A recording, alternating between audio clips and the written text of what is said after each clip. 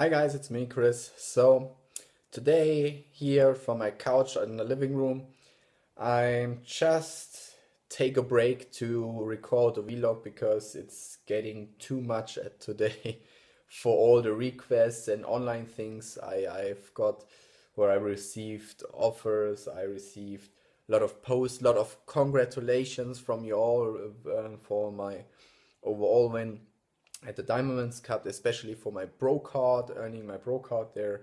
And yeah, like I posted, it was really um, exciting being placed first. It was super amazing um, and, and unbelievable um, to uh, win the overall in my pro card. But let me tell you this, it's really um, still surreal for surreal for me filling out my IFBB Pro um, application form um, and send that out to the Pro League in the US.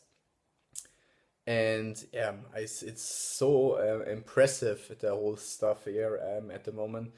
So I'm really overwhelmed over that, and um, yeah, I'm, I hope I can realize it with over the Christmas um, holidays to calm down a little bit, and spending my time with the family and yeah, then I pick up and settle up my schedule and plans for the season 2014, where I try to qualify myself for the Mr. Olympia 2014 for sure.